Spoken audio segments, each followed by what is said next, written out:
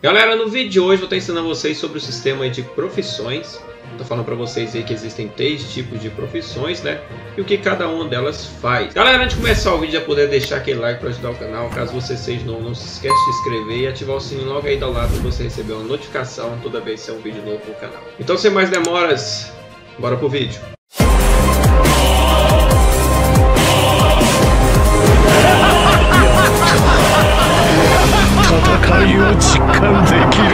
E aí pessoal, para quem me conhece, eu sou o Sig e está começando mais um vídeo aqui no canal. Galera, no vídeo de hoje, como eu falei para vocês, eu vou estar falando para vocês sobre o sistema de profissões, né? Que é um sistema aí, galera, que vocês vão estar liberando, né, a partir do level 40, tá? Primeira coisa que vocês têm que atingir aí é o level 40 para estar tá liberando essa amba aqui para vocês, tá? Atualmente, galera, no Elsword existem três tipos de profissões que vocês podem estar adquirindo. A profissão é de caçador de tesouros, tá? que é uma profissão aí coletora, né? É, uma, é a profissão assim, praticamente você não gasta ED, né? Você só adquire, né? Para você exercer a profissão, você não gasta, né? Você só precisa mesmo, é só é, muito esforço, né? A de ferreiro você já precisa de recursos do caçador de recompensa, né, para estar tá aprimorando os itens e desmanchando. Alquimista você vai precisar também dos itens do caçador de tesouros, né, para estar tá fazendo porções, né, e tudo mais. Então, agora eu vou estar tá falando para vocês detalhadamente aí um pouco, né, de cada profissão. Então vamos lá, vamos começar aí com a profissão de caçador de tesouro. A profissão de caçador de tesouros, galera, é uma profissão aí, né, como falei para vocês, coletora, tá? Você vai estar coletando itens né, ao passar qualquer tipo de fase tá, do jogo. Né? Você está passando aí Elden, Besma, Altera, né?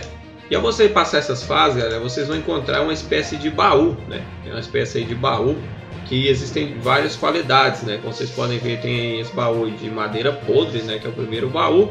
Depois vem o baú de madeira, o baú de pedra. Depois vem esse outro baú aí, que é um baú, assim, se dizer, é, quase semi-perfeito, né? E depois vem um baú perfeito, tá?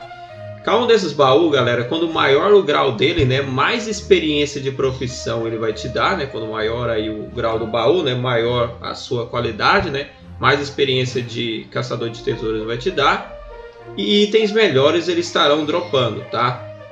E galera, de acordo com o seu level, né, de caçador de tesouros, né, melhores itens vocês vão estar dropando. Ou seja, vamos supor que um item muito bom aqui do caçador de, de tesouros, que é o cristal de mitril. Né? É como vocês podem ver que ele está como impossível de obter, por conta do level ser level 1 ainda de profissão.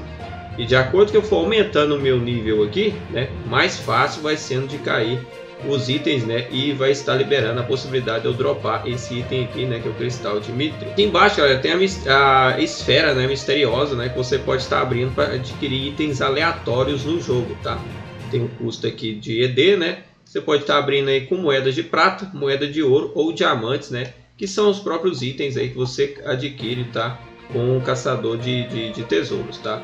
Próxima profissão, galera, é a profissão aí de ferreiro, tá? Que é uma profissão aí de aprimoramento, né? A galera usa muito ela para aprimorar itens, tá? Sig, qual que é a diferença do aprimoramento do ferreiro e do aprimoramento normal? A diferença, galera, do aprimoramento do ferreiro e do aprimoramento normal é a seguinte. O aprimoramento normal, né, que é esse aprimoramento que a gente tem aqui em todo o NPC de cidade de equipamento, né? Ele aprimora de 1 um em 1 um níveis, né? Ou seja, é um aprimoramento assim comum. O aprimoramento ferreiro pode subir até 3 níveis de uma vez. Por exemplo, você está no item do zero, né? Item zero. Ele pode subir por mais um direto, né? Normal, subir um nível. Ou ele pode subir do mais zero por mais dois uma vez.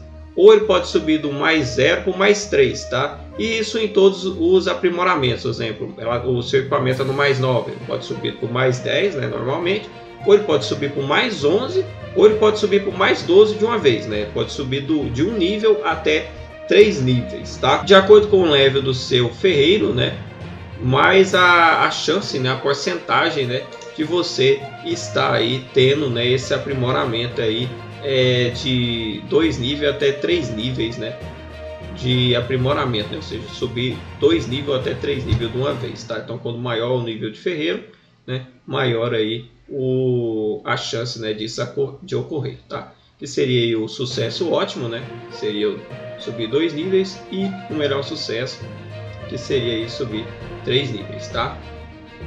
Mas galera, em relação aí ao aprimoramento tá, do ferreiro, vocês não estarão utilizando só né, as pedras de fortificação abençoada. Né? Como vocês podem ver, se eu for aprimorar o item, ele pede o minério de mitril, tá? Que são os itens, galera, que o próprio caçador de recompensa tem, né? Que são esses itens aqui. O minério, né? De mitril, que é a pedra mais barata, né? Que você pode estar tá indo, tá? Ela é utilizada, galera, toda vez que você vai aprimorar um item aí que está no nível do, de refino do 0 até o mais 5, ou seja, toda vez que você for aprimorar um item aí do mais 0 até o mais 5, né, vai estar utilizando uma pedra dessa, ou seja, se você aí aprimorar 10 vezes, né, tipo assim, aprimorou 10 vezes o item até chegar ao mais 6, né, durante essas 10 idas, né, você vai estar utilizando uma pedra dessa, então você vai estar utilizando uma pedra abençoada e uma pedra dessa. Do mais 6 em diante, você vai usar já o fragmento de mitril, que é esse item aqui, né? Que ele vai do mais 6 até o mais 8, ou seja, você vai estar utilizando, né, esse fragmento de mitril né, para aprimorar itens aí do mais 6 até o mais 8. Como eu falei para vocês, né? Vocês podem estar colocando o seu item no mais 7, né? Que eu, eu, isso já aconteceu muitas vezes comigo, né? É você pegar o seu item no mais 7 e ele já subir direto mais 9, né? Ou seja, por conta dessa, desse sucesso, né? Ou pode subir do mais 7 direto no mais 10 também, né? Depende muito aí da sua, do seu level, né? De ferreiro, né? Como eu falei, o seu level de ferreiro ele vai estar aumentando, né? De acordo aí com a utilização, né? Da profissão de ferreiro. Então, ou seja, quanto você mais itens se aprimorar na profissão de ferreiro, né, mais levels aí você vai estar adquirindo, mais experiência, né, você vai estar adquirindo, tá? Do mais 9, né, galera, é esse cristal aqui de mitril, tá? Ou seja, seu item chegou no mais 9, tá? Você vai estar utilizando aí esse cristal, né, de mitril. Ou seja, se você tiver um item mais 10, né, realmente não dá para usar mais esse aprimoramento, é só no aprimoramento normal. Então o ferreiro ele vai até o mais 9, né? Ou seja, é, é interessante, né? Você tá usando ele do mais 9 aí, é, se é, está com alto nível de ferreiro, né? Para ver se você consegue do mais 9 subir até 3 níveis, né? Ou seja, isso aí do mais 9 até o mais 12, né? De uma vez só, né? Então é interessante aí estar usando, é, aprimorando esse refino aqui do, do, do ferreiro, né? Quando já tiver tipo assim num grau bem elevado de, de para você ter essa sorte, né? Já conseguir do mais 9 mais 12, tá? Também tem o desmanche, tá, galera? Que também aí é um é algo assim que quase não é utilizado, né? O principal motivo é você conseguir um amuleto mais 9, né? Só que para conseguir esse amuleto, galera, é muito difícil, tá? E você vai gastar aqui, como vocês podem ver, também as pedras aí, né? As pedras, é como eu falei, o, você vai estar tá gastando essa, o minério aí, quando você fosse desmanchar um item do mais zero, né? Do mais zero até o mais 5, né? Na verdade, até, o, até isso, até o mais 5, né? O fragmento de, miné, de mitril do mais 6 até o mais 8. E esse aqui, itens mais 9, tá? Quanto maior a raridade, mais chance de vir um amuleto em mais 9, né? Um amuleto mais 8, mais 7, né? E de acordo aí com o seu, a, o seu level né, de ferreiro, maior a chance também de estar tá vindo, tá? E também tem a bigorna, tá? A bigorna aí é uma coisa que você pode estar tá utilizando aí é, a cada uma hora, né? Você pode estar tá vindo aqui e adquirindo um item aleatório, tá? São itens aí bem fraquinhos, tá? Itens aí que praticamente não servem para nada hoje, tá?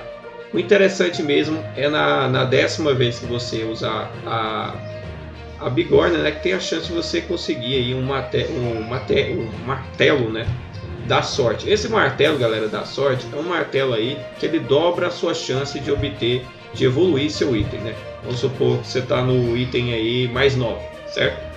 E para ir para mais 10, vamos supor que tem aí uma taxa de 5% para ir para mais 10. Com esse martelo, ela só para 10%. Então ele dobra a chance de aprimorar o item, tá?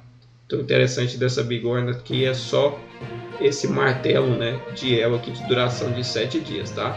E como vocês podem ver, tem uma chance de receber, tá? Não é todas as vezes, né? tem chance de receber o um martelo.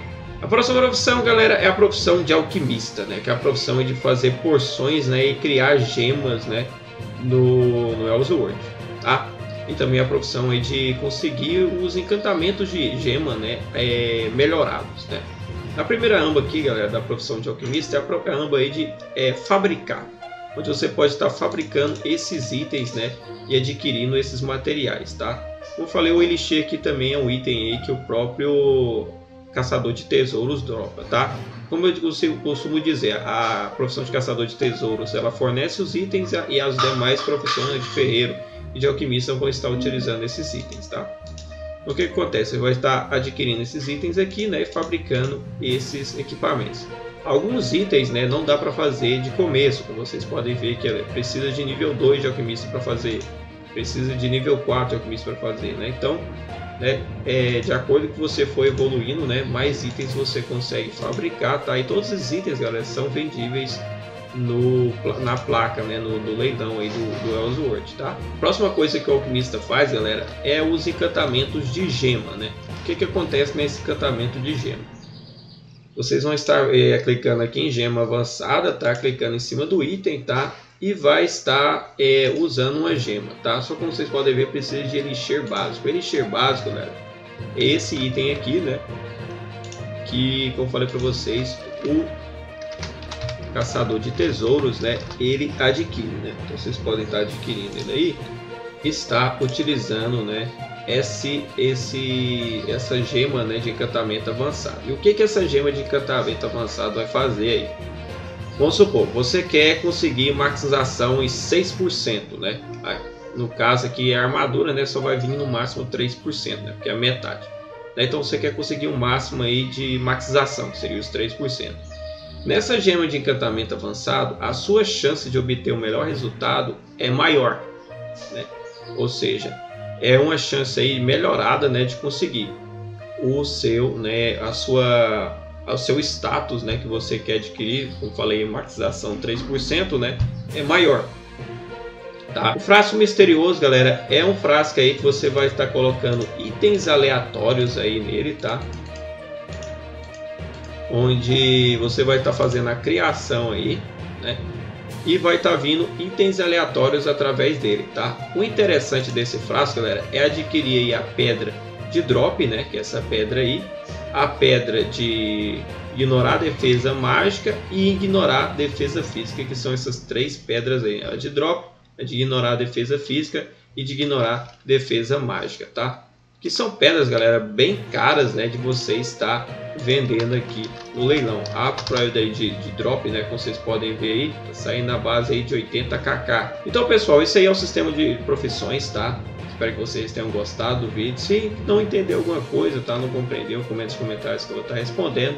É isso aí, não deixe de deixar aquele like para ajudar o canal. Caso você seja novo e não deixe de se inscrever, ativar o sininho logo aí do lado para você receber uma notificação toda vez que sair um vídeo novo no canal. Então é isso aí, até a próxima aí. Falou!